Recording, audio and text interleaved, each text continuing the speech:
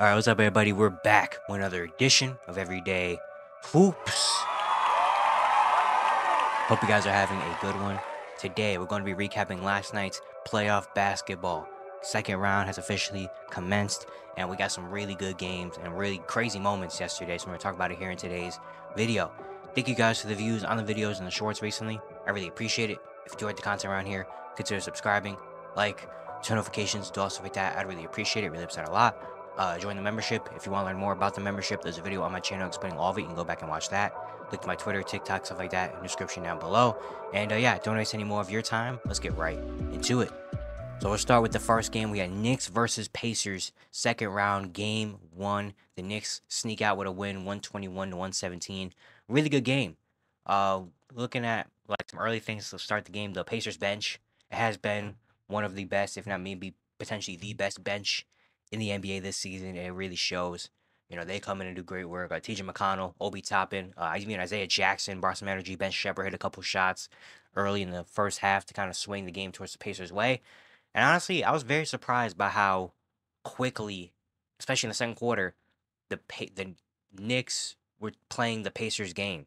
Like the Pacers were forcing the Knicks to kind of play their own game in terms of playing fast pace. Like the Knicks were playing a lot faster and a lot more, you know, jacking up shots and only getting one shot as well. Uh, thanks to the Pacers are were really crashing the glass early on in the game. And yeah, it was interesting to see how quickly the Knicks were kind of forced to play the Pacers game. Thanks to TJ McConnell, Pascal Siakam, Nesmith, Nembhard, all, of course Tyrese, obviously all are pushing the pace early, you know. Then the second half, the Knicks kind of got a little more comfortable in the game. Uh, Josh Hart, throughout the entirety of the game, was just absolutely amazing. Jalen Brunson, obviously, as well. Uh, we get to the fourth quarter. Yeah, the Villanova boys really took this game over. New York outscored Indiana 39 to 30 in the fourth quarter. Donte DiVincenzo hit a couple threes in the fourth. He hit two big three pointers in the fourth quarter uh, to help. In the second half, he was great. He had 21 of his, I think he had 25 points. Yeah, 21 of his 25 in the second half. Uh, he was amazing. That second half, he was huge. You know, in terms of shooting the ball, hitting threes. That was huge. Josh Hart, of course, doing his thing. Jalen Brunson, 21 points in the fourth quarter as well. Just absolutely ridiculous stuff. Getting to the free throw line, uh, getting to the mid range. And I said it in my preview video about the second round. It was going to be harder for the Knicks to guard Brunson. Beside the, difference between Brunson and Dame guarding them is that Brunson likes to get into the paint more. Obviously, he's a stockier body, bigger body, gets it to the paint, gets it to the mid range and stuff. Dame's more of a gonna rely on threes, you know, but Jalen Brunson's more, I'm going to get to the free throw, I'm going to get to the rim. And the Pacers are one of the worst prim, um, interior defenses in the NBA. So Jalen Brunson was going to be able to get to the free throw line and score like that. And then OG Anunoby as well. OG Anunoby made like three straight great defensive possessions. He got like back to back steals, and then he had a great uh, stop on Pascal Siakam eh, all three in a row. So that was huge as well for the Pacers. Yeah, uh, one for four from three in the fourth quarter. Linux hit four. You know, that's tough. Um, yeah, they shot 10 for 17, had four turnovers in the fourth quarter. Just just tough. You know, Tyrese didn't take a shot in the fourth, neither did Miles Turner. He took two free throws, but he didn't take a shot. Uh, it was led by Siakam. Nem, Siakam and Nesmith both had eight points. But yeah, the Pacers didn't really execute super well. And then we have the call where the Knicks got the ball, or the Pacers had the ball down, I want to say one or two and they called the illegal screen on Miles Turner, which was that a great call? I don't really know, but they challenged it and it was unsuccessful unsuccessful challenge anyway. So I guess it was a foul. Just a really tough call to call at that point, and the Knicks ended up getting the win. Um, because they, I mean, they did lock up in the fourth quarter. They had a lot. They did have a lot better defense in the fourth quarter, and so the Knicks get game one victory. Jalen Brunson, forty three points, six and six. Um, I think it's the first player to have four straight 40 point games since like Michael Jordan. He's the fourth player ever to have four straight 40 point playoff games.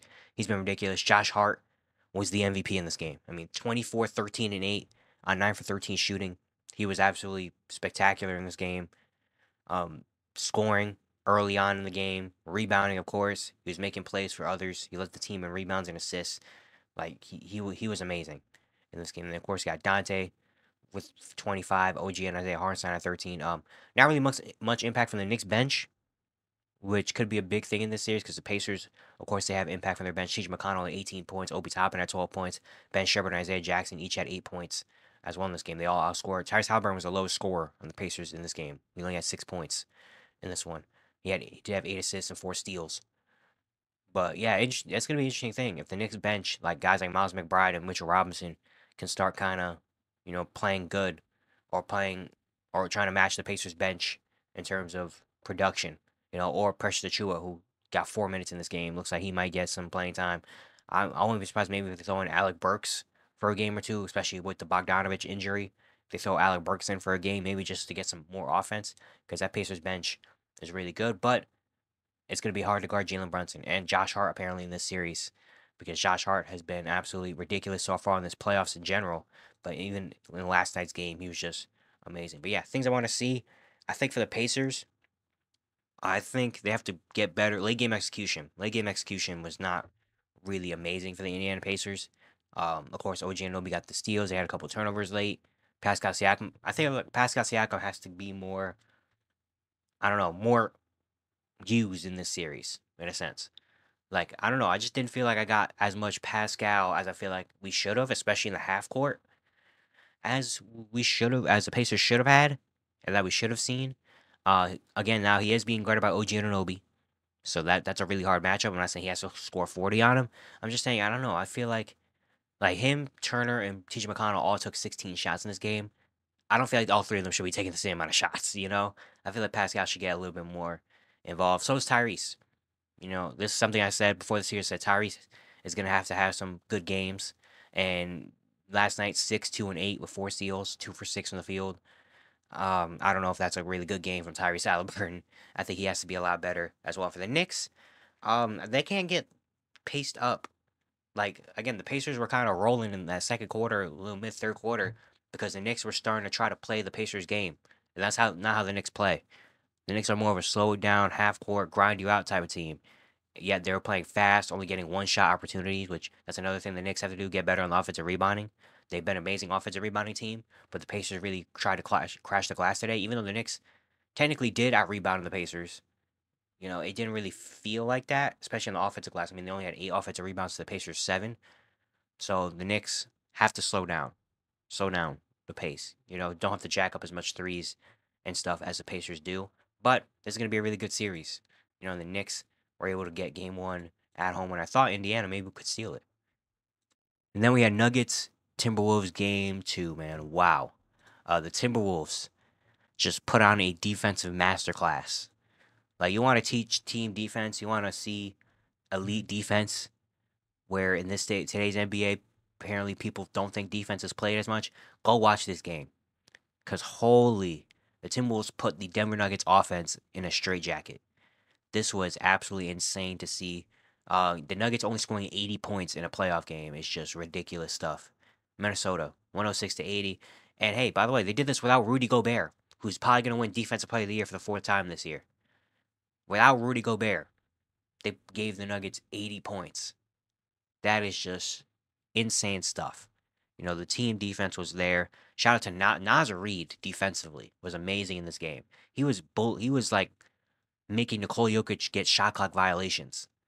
Like that's amazing. Anthony Towns as well was amazing defensively. The whole team defensively just on one page, on one string, absolutely locked in, frustrating the Denver Nuggets. And and then offensively, of course, they're doing the thing. Anthony Edwards, 27 points. KAT had a great game as well, 27 and 12. He was my X factor for the Timberwolves in the series. If he can have a good series and give you some 20, 25 point games, he put up 27 last night. And then Nickeil and Naz Reid combined for 28 points and seven blocks and eight threes off the bench combined for those two. So that's big as well. And yeah, Denver, I mean, Minnesota, I mean, offensively, didn't look like they had a crazy game. I mean, Mike Conley only had four points. Jay McDaniels, five points. Kyle Anderson, six points. Monte Morris had one shot in seven minutes. But the defense was so elite that it just didn't really matter. That second quarter, Minnesota outscored Denver 33 to 15 in the second quarter. They only allowed the Nuggets to score 15 points in the second quarter. I mean, that that's insane stuff. Look at the second quarter scoring. The Nuggets shot 6 for 24, 1 for 6 from 3 and had five turnovers in the second quarter. Like Jamal Murray was one for seven, Jokic was one for five, Aaron Gordon was one for three, Reggie Jackson 0 for four.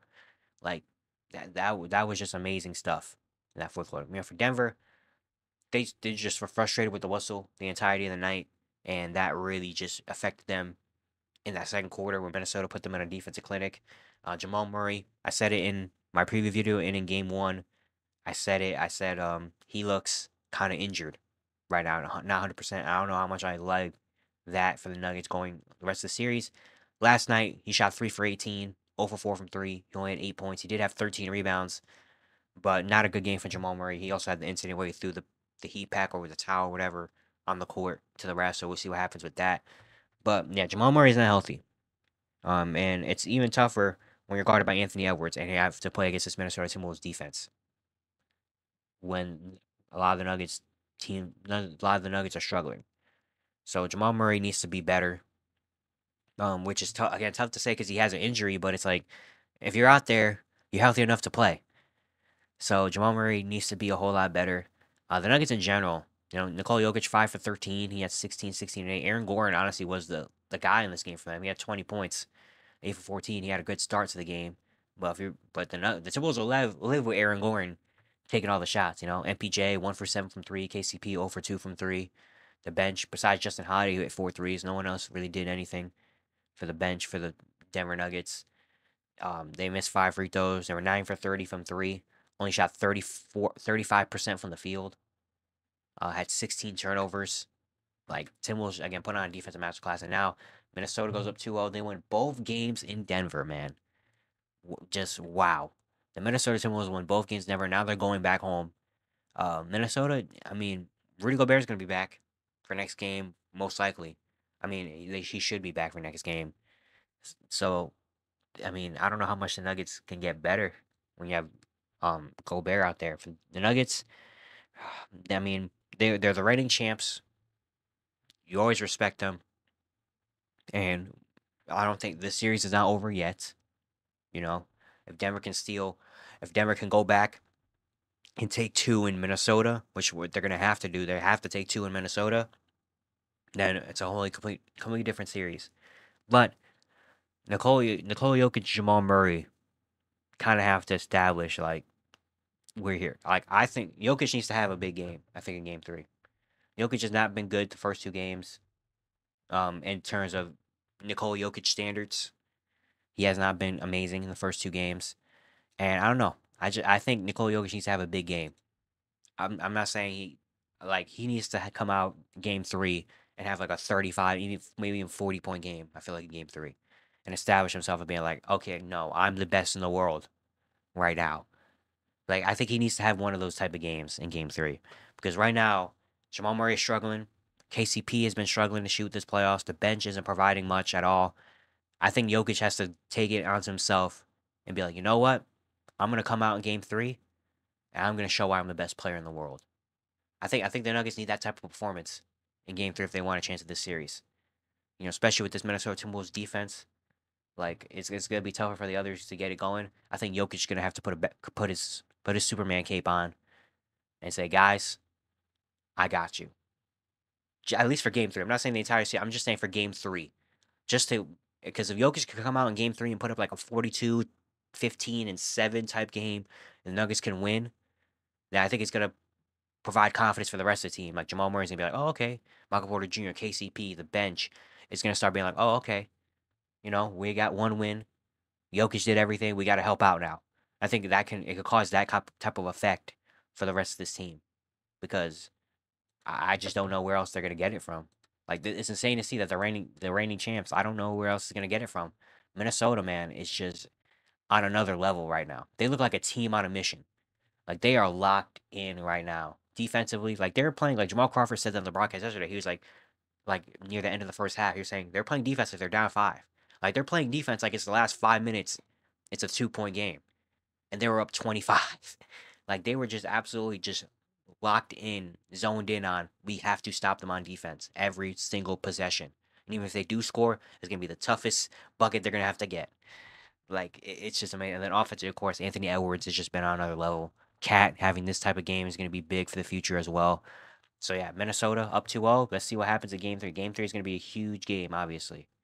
But yeah, it's gonna be it for today. Hope you guys enjoyed. Once again, if you enjoyed the content around here, consider subscribing, like, turn notifications, stuff like that. I'd really appreciate it. We upset a lot.